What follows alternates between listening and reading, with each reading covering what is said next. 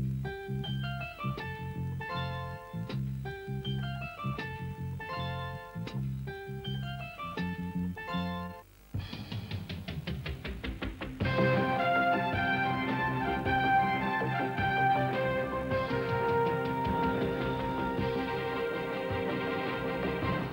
Καλησπέρα σας, κυρίες και κύριοι. Την Τετάρτη, ο Υπουργός Οικονομικών θα ανακοινώσει τις νέες φορολογικές ρυθμίσεις. Σήμερα, ο κύριος Παλαιοκρασάς ενημέρωσε τον Πρωθυπουργό Κωνσταντίνο Μητσοτάκη, ο οποίος του έδωσε οδηγίες για την επεξεργασία του σχετικού νομοσχεδίου, ώστε να ανακοινωθεί το ταχύτερο δυνατόν.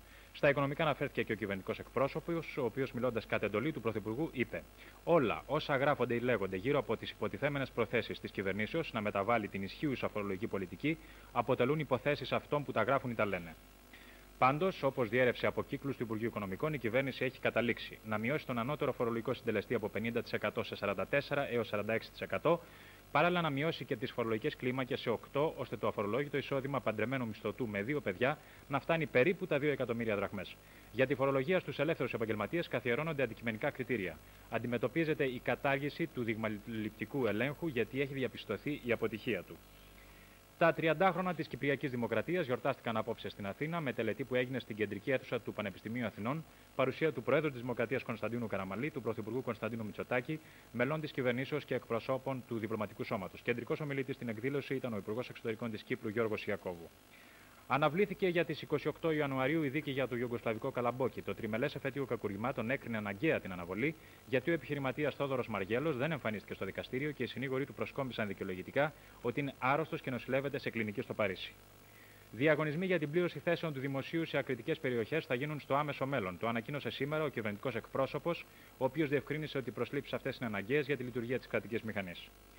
280 κιλά χασίς ανακάλυψαν σήμερα τελωνιακοί και αστυνομικοί στον Πειραιά.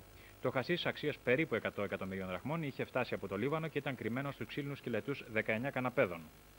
Μεγάλη συγκέντρωση πραγματοποίησε σήμερα το απόγευμα στην πλατεία Κάνιγκος, στο εργατικό κέντρο της Αθήνας, σε ένδειξη διαμαρτυρίας για τα πρόσφατα επεισόδια στο Olympic Catering και τις απολύσεις στι προβληματικές επιχειρήσεις. Το πρωί, συγκέντρωση διαμαρτυρίας έκαναν και οι υπάλληλοι του Catering που απολύονται στο χώρο γύρω από το Ανατολικό Αεροδρόμιο. Από την Εκάλη μέχρι τον Άγιο Στέφανο θα παραμείνει κλειστή αύριο και μεθαύριο 9 και 10 Οκτωβρίου η Εθνική Οδός Αθηνών Λαμίας. Η διακοπή της κυκλοφορίας θα αρχίσει από τις 8 το πρωί μέχρι τις 2 το μεσημέρι. Γίνονται έργα επισκευής της ε, σιδηροδρομική γραμμής Μπογιατίου. Κλειστή θα είναι και αύριο 9 Οκτωβρίου η λεωφόρος Βουλιαγμένη στο τμήμα της από την οδό Αγίου Κωνσταντίνου του Δήμου Ηλιούπολης μέχρι την οδό Αγίου Βασιλείου του Δήμου Αγίου Δημητρίου. Και στις δύο περιπτώσεις η κυκλοφορία θα γίνεται από παρακαμπτήριους δρόμους.